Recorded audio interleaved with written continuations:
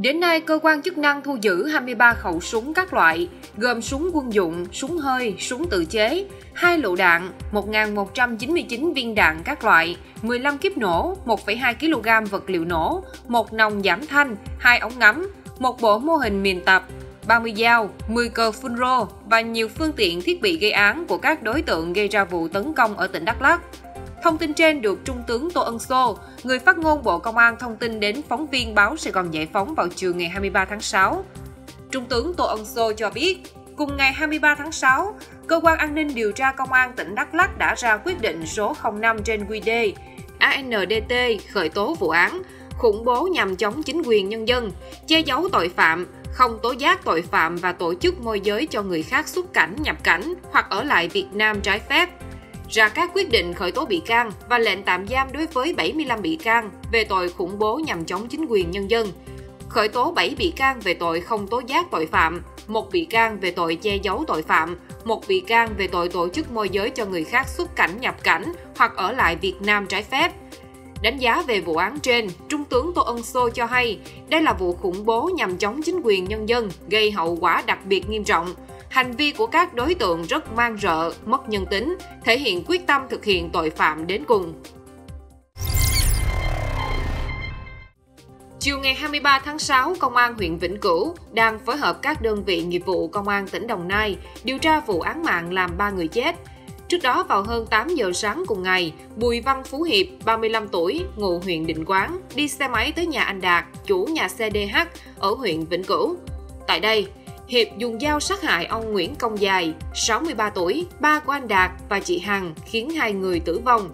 Gây án xong, Hiệp đi xe máy tẩu thoát về thành phố Biên Hòa và đâm chết chị Nguyễn Thị Quý, 43 tuổi, ngụ phường Hố Nai, thành phố Biên Hòa. Sau đó đối tượng đã tự sát, hiện đang được cấp cứu tại bệnh viện. Được biết Hiệp từng làm tài xế và ăn ở chung với gia đình nạn nhân. Liên quan hành vi làm giả hồ sơ nghỉ bệnh để trục lợi tiền bảo hiểm, Cơ quan Cảnh sát điều tra Công an huyện Nhân Trạch, tỉnh Đồng Nai đã kết luận điều tra, chuyển hồ sơ tài liệu vụ án, sử dụng con dấu, tài liệu giả của cơ quan tổ chức sang Viện Kiểm sát Nhân dân cung cấp, đề nghị truy tố đối với 8 bị can theo khoản 1, Điều 341 Bộ Luật Hình sự năm 2015, sửa đổi bổ sung năm 2017. Các bị can bị đề nghị truy tố trong độ tuổi từ 21 đến 36, ngụ tại các tỉnh Đồng Nai, Trà Vinh, Bà Rịa Vũng Tàu, An Giang, Cà Mau. Theo điều tra, để được nghỉ làm nhưng không mất tiền chuyên cần, không mất ngày nghỉ phép năm và được bảo hiểm xã hội chi trả tiền nghỉ bệnh, các đối tượng trên đã mua giấy chứng nhận nghỉ việc hưởng bảo hiểm xã hội của đối tượng không rõ lai lịch trên mạng xã hội. Sau đó, dùng các giấy chứng nhận trên nộp về phòng nhân sự của hai công ty trên địa bàn huyện Nhân Trạch, nơi các đối tượng làm công nhân để xin nghỉ việc theo chế độ được hưởng bảo hiểm xã hội. Ngày 23 tháng 6, Tòa án Nhân dân thành phố Hà Nội mở phiên tòa xét xử sơ thẩm và tuyên án phạt 15 năm tù đối với bị cáo Lê Thị Ánh, sinh năm 1982 ở huyện Sóc Sơn, về tội lừa đảo chiếm đoạt tài sản. Theo cáo trạng, Lê Thị Ánh là cựu quân nhân chuyên nghiệp, làm việc tại phân xưởng Composite, xí nghiệp sản xuất vật tư kỹ thuật và lắp ráp ô tô, chi nhánh công ty trách nhiệm hữu hạn một thành viên 49, Bộ Tư lệnh Công binh đã phục viên theo quyết định số 134 trên QD BTL ngày 27 tháng 11 năm 2017 của Bộ Tư lệnh Công binh từ năm 2013 đến năm 2017, bị cáo Ánh đã lừa đảo chiếm đoạt của 7 bị hại với tổng số tiền hơn 2,7 tỷ đồng. Số tiền này bị cáo dùng chi tiêu cá nhân và trả nợ, sau đó bỏ trốn mới khắc phục được cho các bị hại 70 triệu đồng. Trong số các bị hại, bà Phạm Thị Tê, hàng xóm của Ánh, bị lừa đảo chiếm đoạt hơn 2,1 tỷ đồng. Cụ thể năm 2014, Ánh nói dối bà Tê về việc bị cáo được xí nghiệp X143 giao nhiệm vụ mua vật tư, nhưng xí nghiệp không đưa tiền trước, Ánh phải ứng tiền. Sau 3 đến 6 tháng sau mới được quyết toán. Vì vậy, Ánh vay tiền của bà T và cam kết khi xí nghiệp quyết toán sẽ trả tiền. Ngày 18 tháng 11 năm 2017, Ánh viết đơn xin phục viên gửi xí nghiệp X143 và đến ngày 20 tháng 11 năm 2017, Ánh bỏ trốn khỏi nơi cư trú.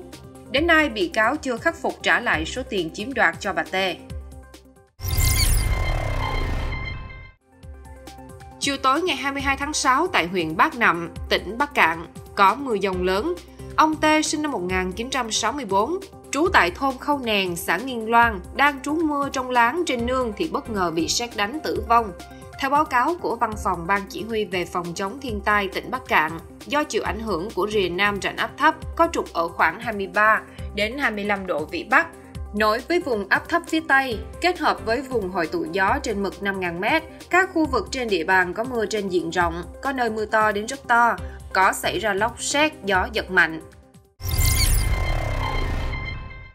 Ngày 23 tháng 6, Phòng Cảnh sát phòng chống tội phạm về môi trường BC05 Công an thành phố Hồ Chí Minh cùng Công an thành phố Dĩ An tỉnh Bình Dương cho biết, trinh sát phòng BC05 phát hiện xe container bồn chở khoảng 21 tấn khí N2O đưa về tập kết tại kho hàng, địa chỉ 44C đường Sa Lộ Hà Nội, phường Bình Thắng, thành phố Dĩ An, tỉnh Bình Dương. Qua xác minh kho hàng này do Cao Đức Dũng đứng ra thuê, Đồng thời Dũng cũng thuê người sang chiếc khí cười từ bồn container qua các bình nhỏ để đưa đi tiêu thụ. Kiểm tra kho hàng trên phát hiện 1.202 bình chứa khí cười. Trước đó, ngày 21 tháng 6, phòng BC05 phối hợp Công an huyện Bình Chánh và Phòng Cảnh sát Giao thông Đường bộ Đường sắt BC08 Công an thành phố Hồ Chí Minh kiểm tra xe ô tô tải do Trần Văn Hậu, sinh năm 1989, ngụ quận 12, điều khiển và phát hiện trên xe đang vận chuyển 70 bình khí N2O.